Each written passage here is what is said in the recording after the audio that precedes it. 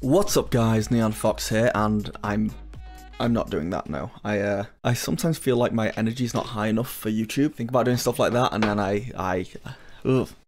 No. Okay, so Trovo and Streamlabs have finally decided to team up and get down to business, making it easier than ever to go live on Trovo and use a wide array of Streamlabs themes and widgets to make your stream unique and stand out. In this video, I'm going to talk about how to quickly set up and go live to Trovo with Streamlabs, and I'm also going to talk about some pros and cons about using Streamlabs over, say, OBS Studio. And there's some stuff you really should know before you choose one over the other. But first off, feel free to skip the next 30 seconds because I'm going to plug myself and tell you why you should subscribe. Still here?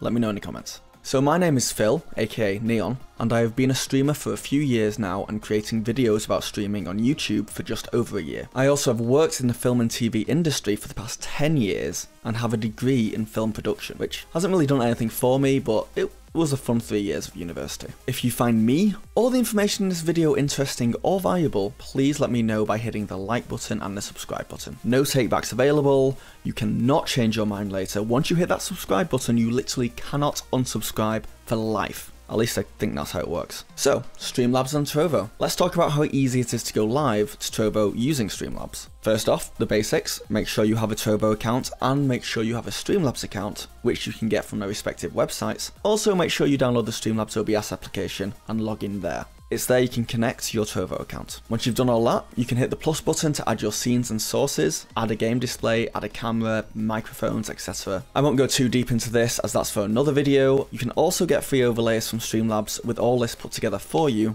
You can find these by going to the Streamlabs website and searching the themes with the free keyword, aka just search free in the search bar. But honestly, it's not hard to put together one of these overlays yourself. Once you're happy with all that, it really is as easy as hitting go live and you'll be broadcasting straight to your Trovo page. Now if you want to go live via your phone, which is becoming increasingly common, especially on Trovo, you can do that by downloading the Streamlabs app on your phone, logging in, and it will walk you through it. It will set you up with a basic stream overlay with a camera if you choose, and this will work with the majority of streams. You can however customize the layout further using editor mode, which will allow you to add widgets and overlay themes, letting you have a much more unique mobile stream. Then once you are happy, hit the go live button, then it will ask you where you want to stream. Choose Trovo, of course. Then enter your title and description and boom, you're live to Trovo. So why stream with Streamlabs OBS? Well look, I'm not going to lie to you here, OBS Studio, Streamlabs competitor is great. You can do so much with it, I see people constantly doing unique and creative things I've never seen before, and it does it all using a surprisingly low amount of CPU. I'm actually a really big advocate for using OBS Studio, but even I have recently switched from using it to Streamlabs because of some key features that not only does Streamlabs do better than OBS, but OBS can't do at all. And the first one is a big one, especially for new streamers. Streamlabs OBS is simple. It's clean, it's easy to understand. You also have a wide array of themes to choose from with Streamlabs that will let you streamline the process even more, allowing you to just concentrate on what you are there for, the streaming. Real quick, little question of the day here for you to put in the comments. Let me know what you use more than anything. OBS Studio, Streamlabs OBS, or maybe you've not streamed yet and you're thinking about it. Down in the comments. Also like the video. The next pro to Streamlabs are widgets. Now, you can get these or something similar in OBS Studios, but it's not easy. You have to go and download external plugins. With Streamlabs, you can add these to your streams with a touch of a button. And widgets can be anything, from adding Trovo chat to your stream overlay, or things like a tip jar, or progress and goals bars. You can also get and customize all your alerts and sound effects through Streamlabs, and they make it very easy. And then you're in this ecosystem where you're using the Streamlabs application, the Streamlabs widgets, the alerts, all in one place. They also have a great chatbot, a tips page so people can support you through Streamlabs, and a merch store where you can make and sell your merch through them easily. It really is just a one-stop shop for all your streaming needs. And that's not the end of it either, because Streamlabs also saves all your settings between devices, which is a dream. I could have everything set up on my home PC, but I want to stream using my laptop when I'm visiting family, or I'm visiting a friend who will let me use their PC. Well, that's fine. All I need to do is log in on any computer and all my settings will be there ready to go. And honestly, I just like it for the peace of mind because if I ever lose access to or god forbid my PC is damaged in some way and I cannot stream on it, I can just run into the other room and log in on my girlfriend's PC and run it, no issues at all except that she'll be a little mad. And the big one, the reason I switched over to Streamlabs OBS to stream to Trovo multi-streaming. You do have to pay a subscription service to multi-stream on Streamlabs, but in my opinion, it's worth it.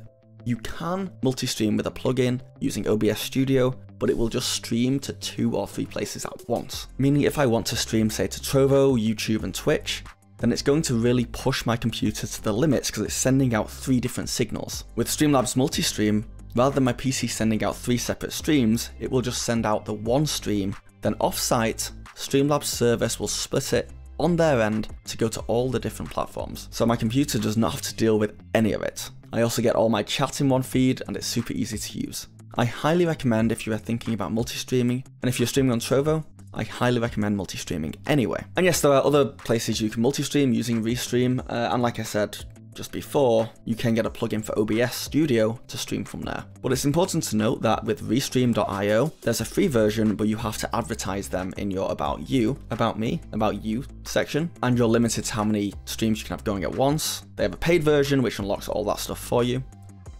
One second, guys.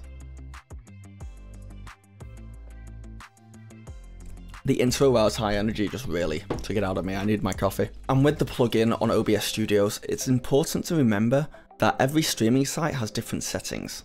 And Streamlabs will just take all those settings and take them off your hands completely and sort it all out for you. Now I won't lie, I've had some issues with Streamlabs OBS, and it wouldn't be fair for me not to mention it in this video when I'm talking about how good they are. Um, Streamlabs OBS uses a hell of a lot more CPU than OBS Studio does. We're talking like the difference between 1% with OBS Studio and 12% with Streamlabs OBS. So if when streaming your computer struggles a lot, having the stream software open and a game playing, then Streamlabs OBS might not be the option for you but it is free to download and free to use. I actually have both. I have OBS Studio and I have Streamlabs OBS downloaded onto my computer. Uh, I'll sometimes use one to record the other in tutorials, and I could use either to go live at any point depending on what kind of thing I needed to do. Anyway guys, I hope this video has been useful, and thank you for watching.